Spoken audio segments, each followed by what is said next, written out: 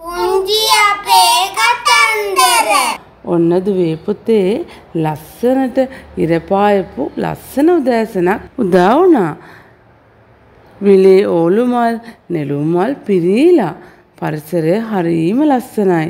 සුන්දරයි. කුරුළු පැටව් කිචිපිචි ගාලා සින්දු කියනවා. සමල්ල පැටව් එහෙට මෙහෙට පියාඹනවා.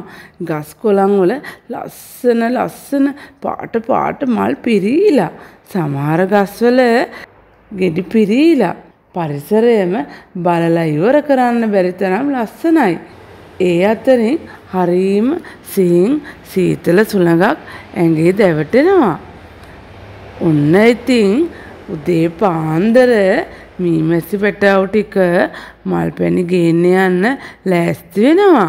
පුංචි දුවේ පුතේ අර මම කලින් කිව්වේ නෙළුම් මල් ඕල් මල් පිරලා තියෙන විලක් තියෙනවා කියලා. ආන්න ඒ විලට යන්න මේ කට්ටිය ලෑස්ති වෙනවා. එයාලා ගිහින් හරීම සතුටින් මල් පැණි එකතු කළා. ඔන්න ඔය අතරේ පොඩි දඟකාර මීමැසි පැංචෙක් හිටියා. මෙයාගේ නම දඟ පැංචා. හරීම දාංගලයක් තමයි තියෙන්නේ. මල් පැණි එකතු කරනට වඩා මල් පැණි හලන එක තමයි කරන්නේ. ඔය අතරේ හැමෝම මල් පැණි පුරවගෙන යන්න සූදානම් වුණා. දඟ පැංචා නෙළුම් මලක් උඩ හොඳට නිදාගන්න හදනවා. ඒ පාර අනෙක් යාළු මීමැසි පැංචලා දෙන්නෙක් එන්න යාළුවේ අපි යමු කියලා කතා කළා. ඔයාලා යන්න කියලා දඟ පැංචා හොඳට හරිබරි ගහිලා නෙළුම් මල මැදට වෙලා නිදාගන්න ලෑස්ති වුණා. ඒ පාර යාළුවෝ දෙන්නා මීපැණි කූඩත් කරේ තියාගෙන යන්න හදනකොටම එයාලා දැක්කා නෙළුම් මලේ පෙති හැකිලෙනවා. මීපැති පැංචලා දෙන්න කෑ ගැහුවා. දඟ පැංචෝ දඟ පැංචෝ නැගිටින්න. ඔයාට දැන් එන්න බැරි වෙයි. ඒ පාර දඟ පැංචා මොකක්ද කියලා කලබලේ ඇහැරලා බලනකොට දැක්කා කළුවර වෙලා වගේ. ආනේ මලේ පෙති වැහෙනවා නේද?